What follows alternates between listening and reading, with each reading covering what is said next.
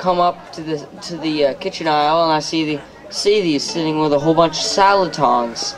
So I uh, so I say, hey, that looks like a pair of spoons. And sure enough, it is. So I'm uh, going to pay for them, and it was 99 cents. Should normally be a $50 thing. So I go up and I, I talk to the people at Goodwill. They're like, oh yeah. And they say, nice pair of salad tongs you got there.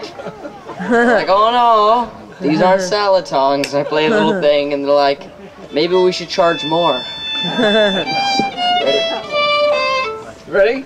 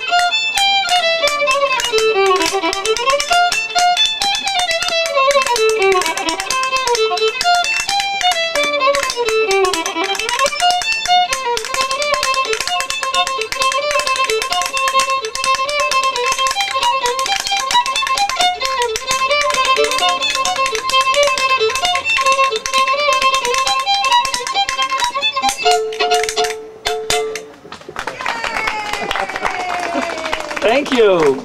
Now, after we do this set, um, we're going to invite people up to take a look at these and try these things out if you want.